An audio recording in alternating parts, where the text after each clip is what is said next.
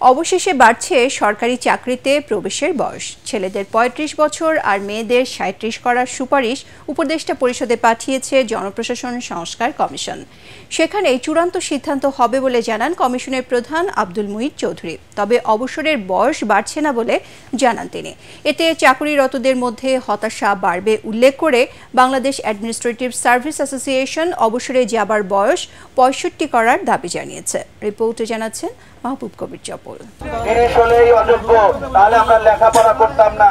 বিশ্ববিদ্যালয় থেকে সরকারি চাকরিতে প্রবেশের বয়স বাড়ানোর দাবিতে গত সাত বছর ধরে আন্দোলন করে আসছেন চাকরি প্রত্যাশীরা। কিন্তু সাবেক প্রধানমন্ত্রী শেখ হাসিনার সম্মতি না থাকায় তা পূরণ হয়নি। উল্টো পুলিশের হাতে বেধরক মার খেয়েছেন তারা।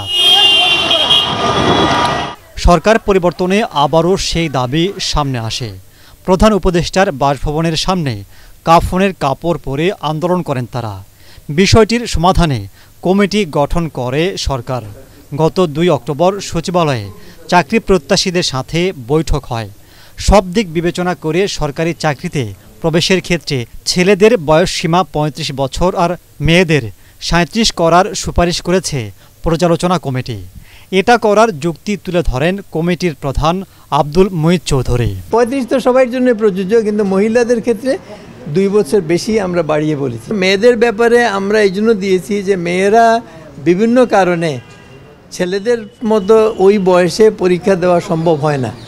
ফ্যামিলি অব্লিগেশনস থাকে, বিয়ে হয়ে যায় বাচ্চা কাচ্চা হয়, তো তারাও যাতে আসতে পারে। আর আমাদের দেশে মহিলা কর্মকর্তার সংখ্যা কিন্তু তুলনা যত কোটা আছে অতটা ফুলফিল হয় না এখনও সেই জন্য আমরা এই রিকমেন্ডেশন দিয়েছি যাতে মহিলারা এই অ্যাডভান্টেজটা পায়। আমরা কোনো গ্রেডের জন্য আলাদাভাবে বলি নাই।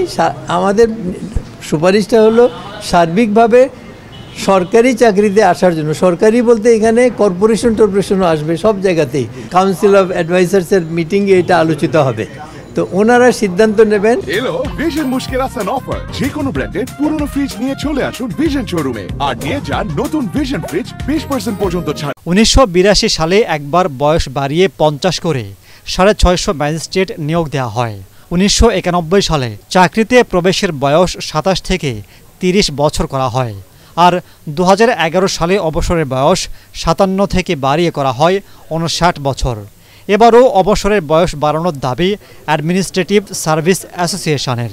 এখন যে চাকরিতে ঢুকলো সে যদি তার চাকরি প- পঁচিশ বছর পূর্ণ না করে তাহলে সে পূর্ণ পেনশন পাবেন না। বিভিন্ন সময় আমরা যারা বঞ্চিত ছিলাম সরকারকে আমরা অনুরোধ জানিয়েছি পঁয়ষট্টি বছরের জন্য আমরা আবেদন করেছি এবং আমরা মনে করি আমাদের আবেদন যুক্তিযুক্ত। অবসরের ব্যাপারে আমরা কোনো কিছু বলি নাই কারণ অবসরের বিষয়ে চিন্তা করার মতো যাদের এখন আমরা পঁয়ত্রিশ বললাম তারা চাকরি করে অবসর সময় আসতে আসতে অনেক সময় আছে। এর মধ্যে বহু কিছু চিন্তা ভাবনা করে সরকার সিদ্ধান্ত নিতে পারবে। এই মুহূর্তে অবসরের বিষয়টা চিন্তা, এখন যারা অবসরে যাবে তারা ওই আগের বয়স অনুসারে চাকরিতে ঢুকেছে। কাজে তাদের অবসর করতে তো কোনো অসুবিধা তো নেই। সরকারি চাকরিতে প্রবেশের বয়স বাড়লে ব্যাংক বিমা সহ বেসরকারি খাতেও বাড়বে। মাহবুব কবির চপল এটিএন বাংলা, ঢাকা।